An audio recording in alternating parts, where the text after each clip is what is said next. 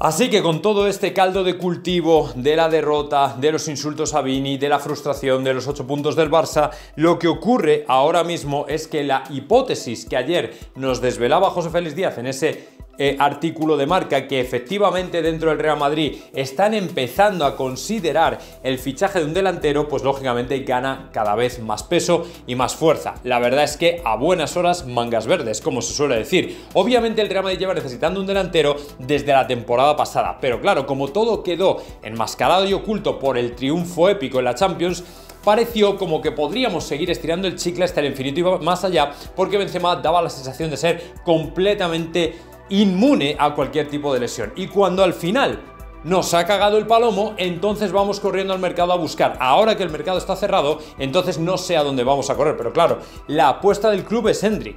Genial, si yo no digo que no, pero ¿y la apuesta del presente cuál es? ¿Quién es? ¿Qué número? ¿Qué nombre? ¿Qué persona? ¿Qué rumor? ¿Quién está detrás? Nadie. Nadie. Eso es lo que esperamos de una dirección deportiva, esa falta de ambición, la ambición que luego le pedimos a los jugadores, no la tenemos en los despachos.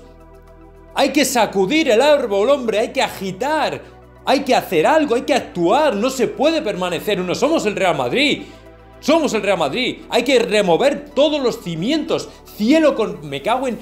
Lo que sea. Cielo con tierra. Hay que moverse. Hay que moverse, no podemos mantener una actitud pasiva mientras los jugadores se están desangrando, no tienen refuerzos y encima señalan a un técnico que muy probablemente ni siquiera es el responsable porque muy probablemente él ha sido el primero que ha subido al despacho a dar un puñetazo en la mesa a decir que necesitamos fichajes. Cojones, eso ya lo añado yo. Que necesitamos fichajes, que nos estamos muriendo, o es que no lo veis. Que hemos sacado la mitad de los partidos a trancas y barrancas. ¿Es que no lo ve nadie? ¿O solo lo veo yo?